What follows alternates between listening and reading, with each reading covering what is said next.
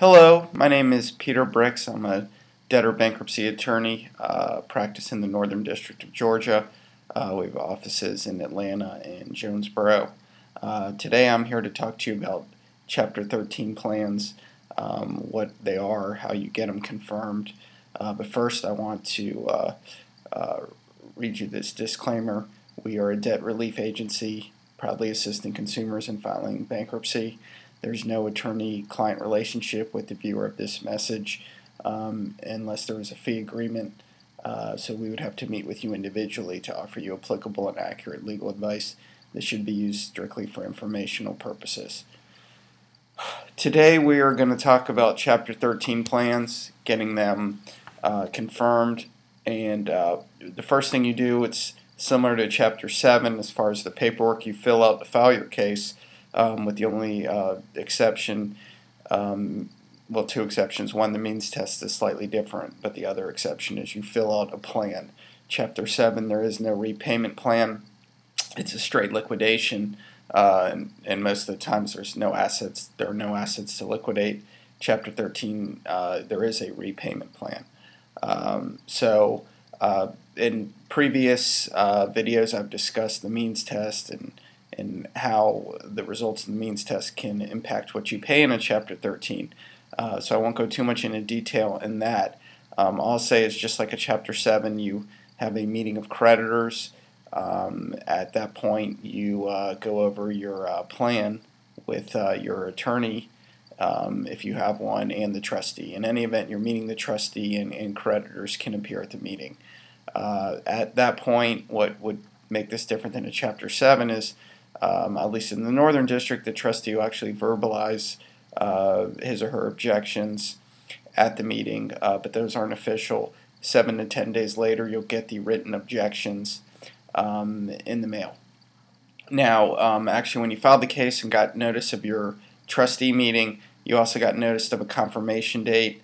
That date is usually um, about four to six weeks after your trustee meeting date. So, in that interim, uh, between the trustee meeting date and the confirmation hearing to get your plan confirmed, you have to resolve those objections.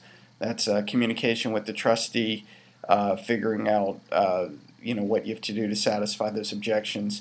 Maybe you're not paying your unsecured creditors enough. Uh, that would be a typical objection. Some of it could be paperwork stuff.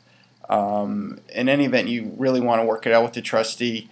Uh, otherwise, if you and the trustee can't reach a meeting of the minds, uh, that's why there are judges, and you could uh, have it determined by, by the judge at the confirmation hearing. Additionally, the trustee is not the only party that might object. You might have a creditor object. Um, the unsecured, an unsecured creditor could object that they're not getting paid enough. A uh, secured creditor could object that, um, uh, for instance, in a particularly in a situation with a car, um, that you're not devising a uh, proper payment of the car. Um, there's a provision in a Chapter 13 called a cram down where you can reduce the uh, car uh, balance to the uh, fair market value as opposed to the contract note balance. Um, this is only applicable if you've owned the car for at least 910 days and it's uh, purchase money. Um, so that might not even be applicable to you. Um, you also, in almost every scenario, can adjust the interest rate lower to around prime plus one and a half to three percent. So uh, the uh, your vehicle lender could object uh, the way they were being treated, and then that would be an objection you have to resolve. Um, additionally, um, to get your plan confirmed, you've got to prove you make the you made the trustee payments. Trustee payments are every 30 days after the case is filed. So by confirmation, you'll probably had at least two payments uh, due. Um, additionally, you have to, if you, particularly if you have an uh, ongoing uh, mortgage, you're filed Chapter 13 to retain your home. Uh, the, the arrears are lumped into your repayment plan, but the ongoing mortgage payment must be made. Um, once your case is filed, you have to start making the contract payment. So you have to be able to prove um, uh, through documentation that you've made that payment. Um, you might have also said you made charitable contributions um, uh, as part of your means test deduction. Uh, if so, you're going to have to prove uh, th those contributions. You're also um, uh, going to have to uh, um, potentially prove uh, prove some other payments or need to produce some additional other documents. Maybe you're self-employed and the trustee wants you to set aside money for your taxes at the end of the year. Uh, so they want proof that you have a separate savings account just for that. So um, you have to get all this done, as you as you can imagine. Um, this is not an easy task if you uh, uh, don't have an attorney. Um, there are some other things that are also complicating the situation. Um, in Chapter 13, you have to pay all your arrears on your mortgage. You have to pay um, all your taxes that are pri quote priority taxes um, and uh, your domestic support obligations that you might be in arrears. Um, and the question is, can you afford that? So, for instance, um, if you have $60,000 in mortgage arrears and you're in a 60 month plan, that means if you pay them at the same amount every month, which is what you're supposed to do in a Chapter 13, you need to devote at least $1,000.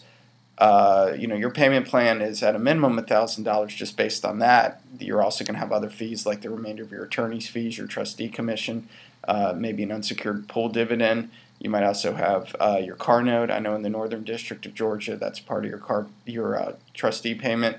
So you might not even have a quote feasible plan. That could be a one of your objections, but b um, if it's not feasible, you can't afford that thousand dollar a month on top of your living expenses, on top of your regular mortgage payment.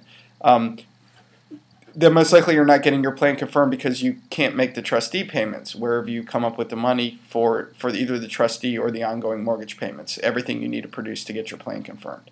So um, if you don't get your plan confirmed at confirmation, if you've done certain things like show up at your meeting of creditors, file all your schedules, um, and maybe there's some issue out there. Uh, for instance, your lender has not filed a proof of claim, so you're not sure the exact amount of your arrears. Um, you can get what's called a reset of your confirmation, but um, uh, generally speaking, um, you know you, you might get one reset. Usually, it, it, the matters tend to resolve itself one way or another um, by the reset hearing and uh, you, you, know usually you get your plan confirmed within two or three months of filing. Unless you just can't get it confirmed, and that that's always a possibility. You might not have a feasible plan. So um, that's uh, a pretty good summary of Chapter 13 plans in bankruptcy in the uh, Northern District of Georgia.